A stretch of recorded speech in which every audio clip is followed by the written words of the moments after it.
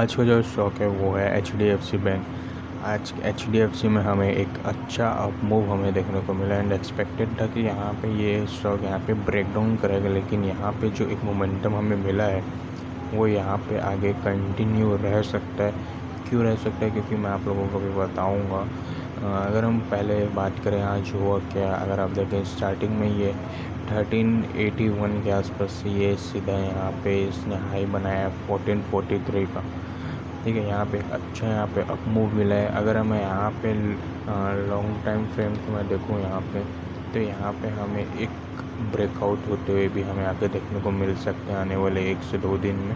हो सकता है कल ही हमें देखने को मिल जाए, अगर आप देखें तो यहाँ पे एक अच्छा कैंडल पैटर्न यहाँ पे एक क्रिएट हुआ है एंड यहाँ पे एक ट्रेंड था जो एक नेगेटिव वो अब यहाँ पे शायद ब्रेक होगा एंड मुझे लग रहा है फिफ्टीन हंड्रेड के लेवल से आपको कल इंट्राडे में या परसों के दिन आपको पोजिशनली अगर आप रखें डे पोजिशन तो आपको यहाँ पे देखने को मिल सकते हैं। जिस हिसाब से यहाँ पे बैंक निफ्टी यहाँ पे मूव किया है, आज के दिन मोमेंटम जो यहाँ पे रहा है बैंक निफ्टी में, मुझे ऐसा लगता है कि कल के दिन यहाँ पे एच बैंक में हमें वो चीज़ का इम्पैक्ट और अच्छे से देखने को मिलेगा, क्योंकि यहाँ पे ये स्टॉक एक अच्छे चीज़ की तरफ़ जा रहा है, वो है गैप फिलिंग के लिए अपनी। गैप फिलिंग क्या हो रहा है मैं आपको बताऊँ।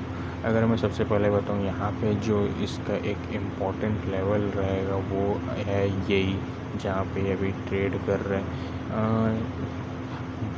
अराउंड ये है वन फोर फोर थ्री का ये एक इंपॉर्टेंट लेवल अगर इसको ब्रेक करता है। ठीक है? तो यहाँ पे आपको वन फोर फाइव थ्री का सीधा यहाँ पे आपका टारगेट निकल जाएगा। ठीक है? One four one four four three का लेवल यहाँ पे ब्रेक करेगा। कल के दिन H D F C bank तो आपका पहला टारगेट क्या निकलेगा? वन फोर फाइव थ्री का मतलब दस पॉइंट के ऊपर में आपका टारगेट जब ये दस पॉइंट के ऊपर का टारगेट ले लेगा तो इसके बाद ये इमीडिएटली यहाँ से अप साइड जाएगा। क्यों? क्योंकि अगर देखो तो यहाँ पे इसने गैप दिया था एंड वो गैप अभी तक फिल नहीं किया है इसने।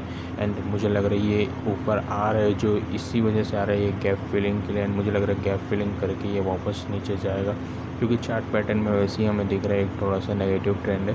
मुझे ये भी नहीं लग रहा कि ये जो ब्रेकआउट होगा, इतना ज़्यादा यहाँ पे कंटिन्यू रहेगा। मुझे लग रहा है फिफ्टीन हंड्रेड के लेवल से आके वापस से एक नीचे डाउनफॉल आपको दिखाया गया साइडवेज हो जाएगा।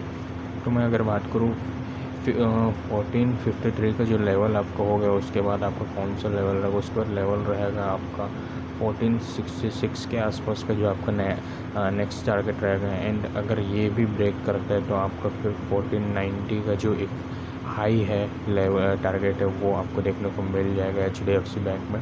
अगर ये ब्रेक करेगा तो फिर फिफ्टीन हंड्रेड का लेवल आपको ऐसे देखने को मिलेगा। एंड एक चीज़ और, कल के दिन यहाँ पे आपको वॉल्टिलिटी देखने को मिल सकता है H D F C bank में तो मैं यही बोलूँगा कि स्टॉप लॉस को ट्रेल करते रहो आप लोग, ताकि आप लोगों को लॉस उतना कमी हो एंट्री में अगर बोलूँ तो एंट्री आप फोर्टीन फोर्टी थ्री के ऊपर, फोर्टीन फोर्टी थ्री जब ब्रेक करेगा तो उसके ऊपर ही लेना।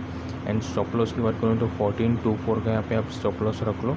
इंटरडे के लिए एंड डे पोजीशन के लिए भी आप रख सकते हो। ऊपर में जब का जो पहला जो रहेगा टारगेट वो रहेगा फोर्टीन फिफ्टी टू, दूसरा रहेगा fourteen sixty six. Fourteen sixty six break करेगा तो यहाँ पे आपको सीधा इमीडिएटली मुझे ऐसा लग रहा है कि तीस मिनट के अंदर ही आपको यहाँ पे फोर्टीन नाइन्टी के एंड फाइव फिफ्टीन हंड्रेड के लेवल्स देखने को मिल जाएँगे।